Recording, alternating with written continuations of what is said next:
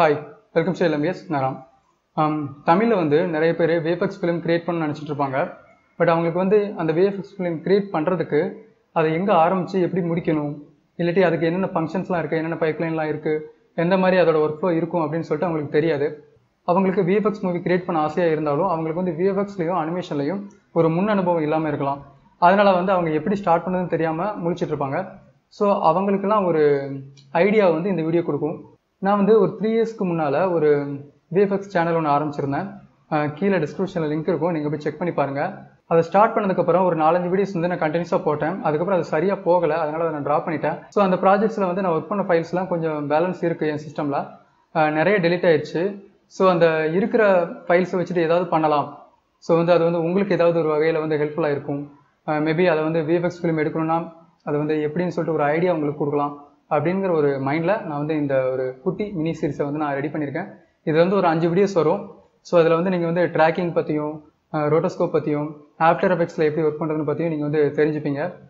Um, I hope உங்களுக்கு வந்து இது ஏதோ ஒரு வகையில் ஹெல்ப்ஃபுல்லாக இருக்கும்னு நான் நம்புகிறேன் ஸோ இதை வந்து ஃபுல்லாக பாருங்கள் அடுத்தடுத்து வந்து இந்த சீரிஸில் சில வீடியோஸ் வந்து வந்துட்டுருக்கும் அதையும் ஃபுல்லாக வாட்ச் பண்ணுங்கள்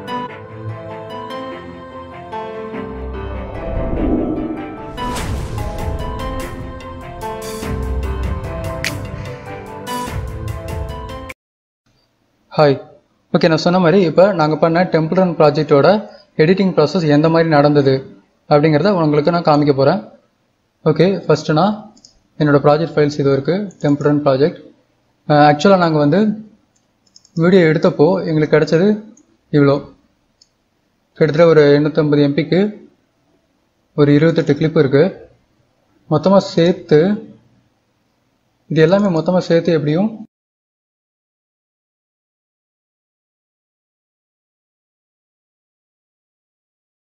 மொத்தமாக ஒரு ரெண்டு மணி நேரத்துக்கு வந்து எங்களுக்கு வந்து ஃபுட்டேஜ் இருக்குது பட் நீங்கள் வீடியோவில் பார்த்தது வந்து ஒரு ரெண்டு நிமிஷம் வீடியோ தான்.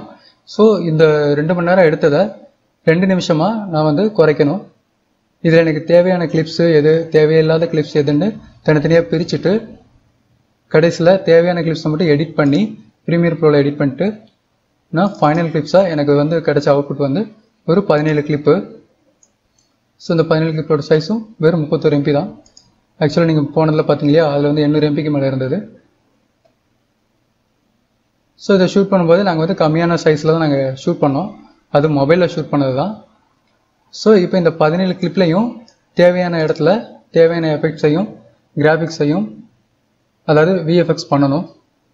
அதுக்கு நான் வந்து இதை ஆஃப்டர் எஃபெக்ட்ஸில் இம்போர்ட் பண்ணுவேன். ஸோ ஃபஸ்ட் கிளிப்பில் எனக்கு தேவையானது என்னென்னா இந்த இடத்துல வந்து நீங்கள் வீடியோவில் பார்த்த மாதிரி இந்த இடத்துல ஆர்ஆர் ஸ்டுடியோஸ் ப்ரெசன்ஸ் அப்படின்னு வரணும்.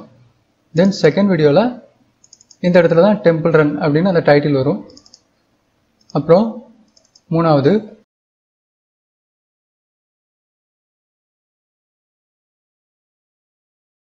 இந்த இடத்துல நமக்கு வந்து அந்த குகை இருக்கணும். இது இதில் ஒன்றும் கிடையாது. இந்த இடத்துல மறுபடியும் குகை தெரியணும். ஸோ இந்த மாதிரி இது வந்து அந்த பீஸ்ட் வந்து இவங்களை துரத்திட்டு போகிற மாதிரி எடுக்கணும். ஓகே இந்த மாதிரி ஒவ்வொரு கிளிப்லையும் ஒவ்வொரு எஃபெக்ட் ஆட் பண்ண வேண்டியிருக்கு. அதாவது ஒவ்வொரு விஎஃப்எக்ஸ் பண்ண வேண்டியிருக்கு. ஸோ இதை வந்து நான் எப்படி இப்போ ஆஃப்டர் எஃபெக்ட்ஸில் இம்போர்ட் பண்ணி விஎஃப்எக்ஸ் பண்ணோம் அப்படிங்கிறத நான் காமிக்கிறேன். ஓகே ஆஃப்டர் எஃபெக்ட்ஸ் ஓப்பன் பண்ணிக்கிறேன். என் சிஸ்டம் கொஞ்சம் ஸ்லோங்கிறதுனால கொஞ்சம் டிலே ஆகும். நீங்கள் கொஞ்சம் நல்ல கண்டிஷனில் கம்ப்யூட்டர் வச்சுருந்தீங்கன்னா அதை நல்ல கான்ஃபிகரேஷனோட வச்சுருந்தீங்கன்னா கொஞ்சம் ஸ்பீடாக ஓப்பன் ஆயிரும். சரி ஓகே உங்களுக்கு ஆஃப்டர் எஃபெக்ட்ஸ் பற்றி தெரியலனாலும் பரவாயில்ல. ஜஸ்ட் ஆஃப்டர் எஃபெக்டில் ஒரு மூவிக்கு எப்படி வந்து எடிட் பண்ணுவாங்க அப்படிங்கிறத மட்டும் நீங்கள் தெரிஞ்சுக்கோங்க. எப்போவுமே எந்த ஒரு ப்ராஜெக்டாக இருந்தாலும் நியூ ப்ராஜெக்ட் கொடுத்து தான் ஃபஸ்ட்டு ஸ்டார்ட் பண்ணணும். ஓகே நியூ காம்போசிஷன் என்னோடய சைஸ் வந்து அதாவது நான் எடுக்க போகிற வீடியோட சைஸ் வந்து ஒரு செவன் டுவெண்ட்டி ரெசல்யூஷனில் இருந்தால் போதும். என்னோடய வீடியோ ரெசல்யூஷன் ஸோ நான் அதை வந்து ஃபிக்ஸ் பண்ணிக்கிறேன்.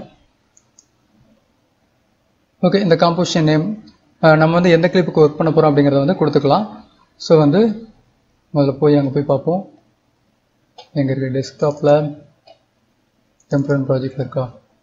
ஃபைனல் கிளிப்ஸ் ஓகே இதில் வந்து டெக்ஸ்ட்டு தான் எடிட் பண்ண போகிறோம் ஃபஸ்ட்டுலேயும் டெக்ஸ்ட்டு செகண்ட்லேயும் டெக்ஸ்ட்டு மூணாவதுல தான் அந்த குகை இருக்கணும். ஸோ ஃபஸ்ட்டு வந்து நான் மூணாவது கிளிப்பை வந்து ஓப்பன் பண்ணி அதில் குகையை ஆட் பண்ணி காமிக்கிறேன். மினிமைஸ் பண்ணிக்கலாம்.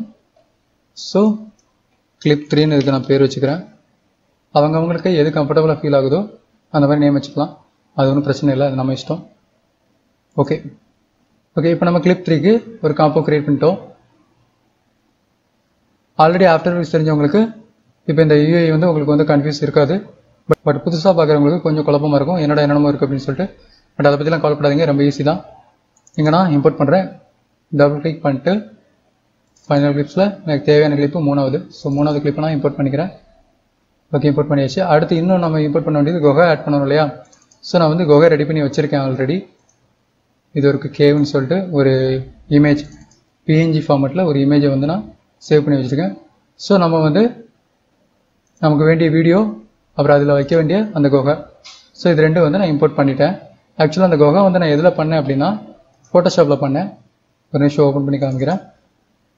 இது இருக்குது ஸோ இந்த குகையோட த்ரீ டி மாடலை நான் ஃபோட்டோஷாப்பில் தான் பண்ணேன். பட் என்னோடய வீடியோவில் அதோட த்ரீ டி மாடல் முழுசாக எனக்கு தேவையில்லை. ஜஸ்ட் அதோட ஃப்ரண்ட் சைடு மட்டும் இருந்தால் போதும். அதனால் ஒரே இமேஜாக நான் அதை வந்து சேவ் பண்ணிட்டேன். உங்களுக்கு காமிக்கிறேன் பாருங்கள் மூட்டல் யூஸ் பண்ணிவிட்டு ரொட்டேட் பண்ணி காமிச்சா உங்களுக்கு தெரியும். ஸோ நான் இதை வந்து ரெடி பண்ணது இந்த மாதிரி தான். ஃபோட்டோஷாப்பில் நம்ம இந்த மாதிரியும் த்ரீ டி பண்ணலாம்.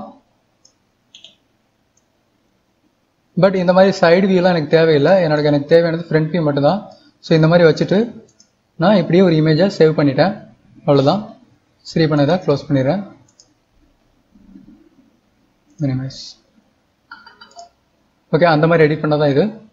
இப்போ நான் இந்த வீடியோவை ட்ராக்ல இழுத்து போடுறேன். ஓகே என்னோட வீடியோ சைஸ் வந்து அஞ்சு செகண்ட் இது கூட வேண்டாம்.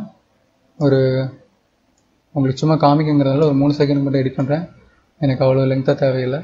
ஏன்னா ட்ராக்கிங் பண்ண கொஞ்சம் டைம் ஆகும். ஸோ என்னோடய வீடியோ வந்து ஒரு நாலு செகண்டுக்குள்ள இருந்தால் போதும்.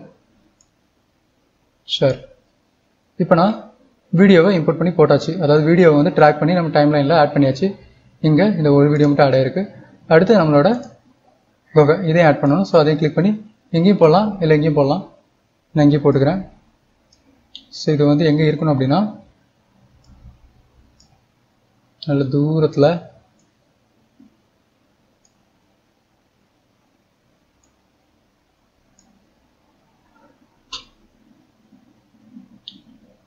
இங்கே இருக்கணும். ஸோ அதை நான் ரீசைஸ் பண்ணுறேன் ரீசைஸ் பண்ணுறதுக்கும் நிறைய ஷார்ட்கட்லாம் உண்டு. பட் இப்போ நான் நிறைய சொல்லிக் கொடுத்தேன்னா உங்களுக்கு வந்து கன்ஃபியூஸ் ஆகும். அதனால் வேண்டாம். ஆஃப்டர் எஃபெக்ட்ஸ் ஆல்ரெடி தெரிஞ்சவங்களாக இருந்தால் உங்களுக்கு வந்து இது ரொம்ப ஈஸியாக புரியும். பட் பிகினராக இருந்தால் நான் நிறைய சொல்லும்போது நீங்கள் கன்ஃபியூஸ் ஆயிருவீங்க. ஸோ என்ன செய்கிறனோ அதை மட்டும் ஜஸ்ட் வாட்ச் பண்ணுங்கள் ஸோ அந்த இடத்துல இருக்குன்னு வச்சுக்குவோம். இப்போ நான் ப்ளே பண்ணுறேன் எனக்கு இந்த ஆடியோ வேண்டாம். ஸோ ஆடியோவை ஆஃப் பண்ணிடுறேன். உங்களுக்கு இப்போ ஒரு சின்ன ப்ராப்ளம் தான் அதில் தெரிஞ்சிருக்கும். ஏன்னா நம்மளோட வீடியோ வந்து ஷேக் ஆகுது. பட் நம்ம இமேஜ் வந்து ஸ்டாட்டிக்கான ஒரு இமேஜ் அதாவது ஸ்டேபிளாக இருக்கும். சரி இப்போ இதை நம்ம எப்படி ஃபிக்ஸ் பண்ண போகிறோம் அப்படின்னா ஃபஸ்ட்டு ஃபஸ்ட்டு இப்போ தான் நம்ம விஎஃப்எக்ஸில் ஒரு முக்கியமான விஷயத்த பார்க்க போகிறோம் ட்ராக்கிங் கிராக்கிங்னா என்னென்னு நம்ம நெக்ஸ்ட் செஷன்லேருந்து பார்க்கலாம். ஹாய் இந்த வீடியோ உங்களுக்கு யூஸ்ஃபுல்லாக இருந்தது அப்படின்னு நீங்கள் நினச்சிங்கன்னா கீழே லைக் அண்ட் கமெண்ட் பண்ணுங்கள் நீங்கள் பண்ணுற ஒவ்வொரு லைக்கும் கமெண்ட்டும் என்னை வந்து இந்த மாதிரி நிறைய வீடியோஸ் பண்ணுறதுக்கு என்கரேஜ் பண்ணும். அண்ட் ஆல்சோ மறக்காமல் என்னோட சேனலை சப்ஸ்கிரைப் பண்ணுங்கள் இன்னொரு வீடியோவில் சந்திக்கலாம். தேங்க்யூ